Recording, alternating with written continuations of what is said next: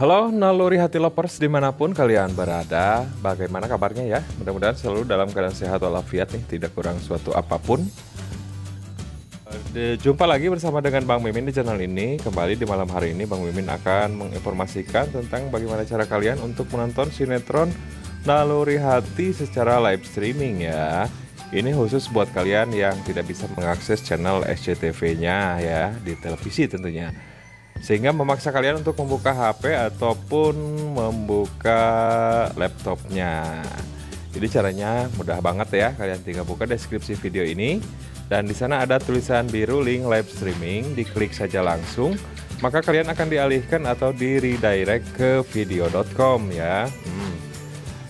Ini juga berguna untuk kalian yang bagi berada di luar negeri ya, yang ada di Taiwan, di Arab Saudi, di Hong Kong, di Singapura, Malaysia, pokoknya di seluruh luar negeri ya. Dan kembali di malam hari ini ya tentunya kita bakalan menyaksikan adegan yang sangat seru dan menegangkan ya. Di mana akhirnya Farah dan Gilang menikah juga ya. Wah selamat ya buat Farah ya. Si bucin yang bikin kesel akhirnya menikah juga tuh ya. Rasakan setelah menikah nanti apa yang akan terjadi tentunya. Karena memang Ibu Rina sudah mempersiapkan rencana untuk ya membuat Sarah sengsara tentunya. Hmm, Bu Rina ini ya.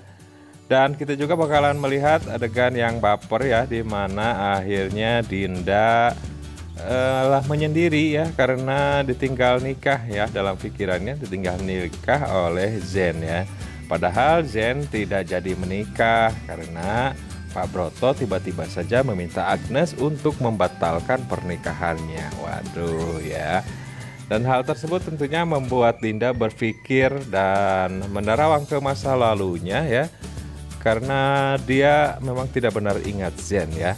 Namun kini nampaknya dengan kejadian yang begitu berat menimpa dirinya, eh, tentunya Dinda akan sedikit mengingat tentang kejadian di masa lalunya. Waduh, makin seru pokoknya ya. Dan tentunya di sini adalah ada tentangan tersendiri ya buat Sandy ya apakah Sandy nanti akan merelakan istrinya untuk Jen atau bagaimana? Kita saksikan aja. Nampaknya semakin seru dan semakin bikin penasaran ya dengan alur cerita sinetron alur hati ini. Walaupun kadang membuat kesel ya. Ya karena memang keselnya selalu berbeda dari harapan para penonton semua ya eh, kita saksikan saja pokoknya nampaknya semakin seru dan semakin eh, menegangkan ya.